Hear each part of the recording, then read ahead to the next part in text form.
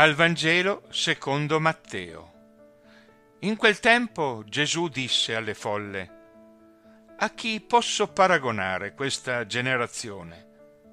È simile a bambini che stanno seduti in piazza e, rivolti ai compagni, gridano, Vi abbiamo suonato il flauto e non avete ballato, abbiamo cantato un lamento e non vi siete battuti il petto. È venuto Giovanni che non mangia e non beve, e dicono è indemoniato. È venuto il figlio dell'uomo che mangia e beve, e dicono ecco, è un mangione, è un beone, un amico di pubblicani e di peccatori. Ma la sapienza è stata riconosciuta giusta per le opere che essa compie.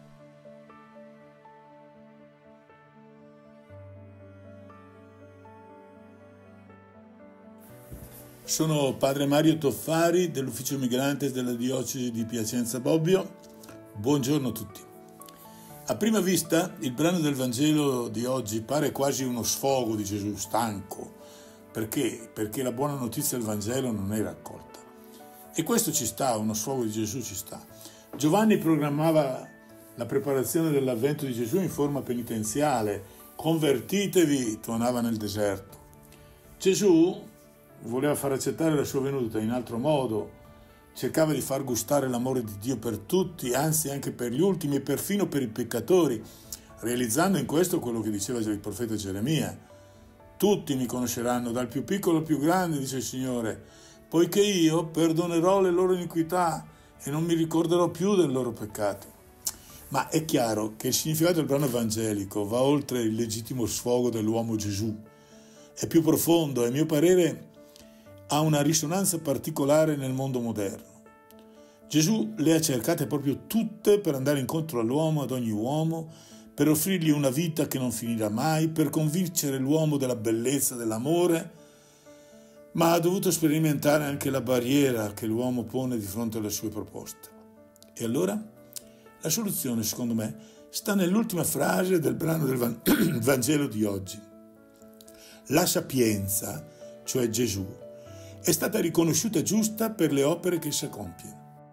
Quando Matteo ha scritto il suo Vangelo, Gesù aveva già sperimentato la passione, la morte in croce, la risurrezione e aveva dimostrato fin dove si spinge l'amore di Dio per l'umanità.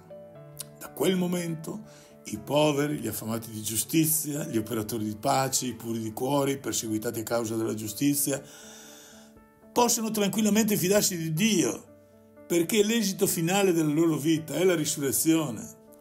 Partendo da questo, secondo me, possiamo capire anche la modernità del brano del Vangelo che abbiamo letto. C'è però una condizione che io spesso dimentico, ma credo che anche qualcuno, qualche altro cristiano la dimentichi con me. È una condizione evangelica. Un discepolo non è più del maestro, né un servo da più del suo padrone. È sufficiente per il discepolo essere come il suo maestro e per il servo come il suo padrone. Dietro l'angolo c'è la tentazione di risolvere la crisi ecclesiale di oggi con il cambio delle strutture. Non hanno funzionato le lamentazioni? Proviamoci con il ballo. E così ci si logora in infinite ricerche per salvare questa o quella struttura, questa o quella chiesa, a prescindere dalla loro utilità, dai costi umani e economici.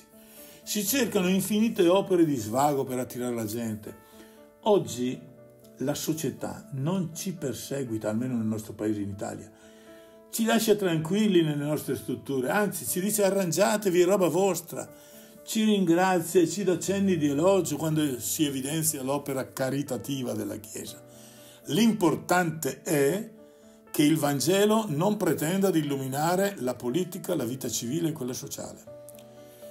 Nessuno di noi, sia chiaro, almeno da parte mia, vuole imporre nulla allo Stato a nessuno e, sta- e lo Stato deve essere laico.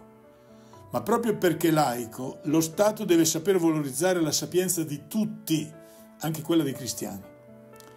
Il Natale, per noi cristiani, è la ricerca di opere che non costringano alcuni a nascere nelle grotte e ad altri a vivere nelle regge. Il Natale è la gioia del perdono che porta alla pace e non all'odio che porta alla guerra. Noi siamo chiamati oggi ad andare verso l'umanità, a rivelare la sapienza con le opere che salvano l'uomo, a prescindere dal nostro tornaconto o dal nostro successo, tenendo sempre presente che l'opera di Gesù era amore universale, particolarmente diretto a chi aveva colpe, i pubblicani, i peccatori. Ma forse io, e credo qualcun altro cristiano con me, spesso non guardo le mie colpe. Tutto sommato mi sento giusto, sento di godere una vita sana, vita spirituale. Ma è proprio in questi momenti che percepisco che il Signore Gesù se ne va altrove, perché Lui non è nato non è venuto in questo mondo per i sani, ma per i malati. Non è nato, è venuto in questo mondo per chiamare i giusti, ma per chiamare i peccatori.